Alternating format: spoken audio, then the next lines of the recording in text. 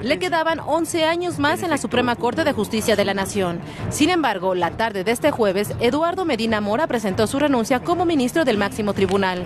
Medina Mora fue ratificado por el Senado para un periodo de 15 años que concluía en 2030. Se trata de un hecho inédito en la etapa contemporánea de la Suprema Corte.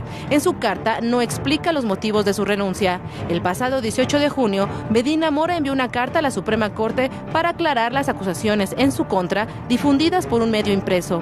Se trata de una presunta investigación realizada por autoridades nacionales y extranjeras en las que se detallaban 32 transacciones financieras de 2016 a 2018.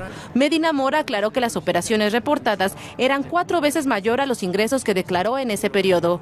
Explicó que en realidad el total de las transacciones ascendía a 7.4 millones de pesos y no a los 103 millones de pesos que indicaba el diario. Aseguró que las cantidades fueron convertidas de manera dolosa a dólares y libras esterlinas.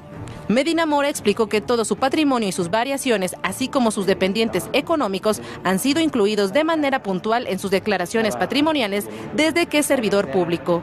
Conforme al artículo 98 de la Constitución, las renuncias de los ministros de la Suprema Corte proceden por causas graves. La carta de su dimisión fue presentada al ministro presidente Arturo Saldívar.